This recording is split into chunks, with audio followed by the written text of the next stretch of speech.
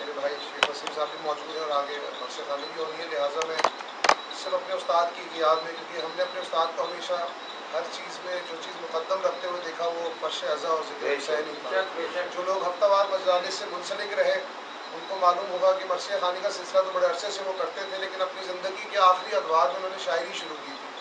اور جس طرح وہ نئے نئے کلام پیش کرتے تھے اسی متن میں ان کا آخری مقطع اشعار میں تین شعر آپ کے سامنے پڑھوں گا اور اس کے اندر جو تخیل جو خیال تھا وہ مم ماتا اللہ حب علی ماتا مم ماتا شہیدہ کے حوالے سے کہ جو ہم مولا کی محبت میں مرتا ہے وہ شہید ہے۔ اس حوالے سے نے لکھتے ہیں کہ حسین تیری محبت جو دل میں رکھتا ہے۔ حسین تیری محبت جو دل میں رکھتا ہے۔ مرا نہیں ہے خدا کی قسم وہ زندہ ہے۔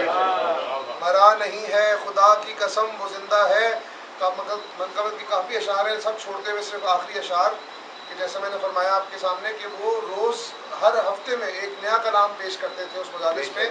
کہاں سنائے حسین اور کہاں قلم میرا؟ کہاں سنائے حسین اور کہاں قلم میرا؟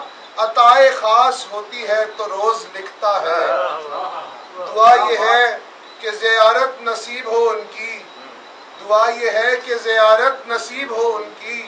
اسی کے واسطے آصف کا دل مچلتا ہے۔ پر محمد والے محمد بلندر سراوا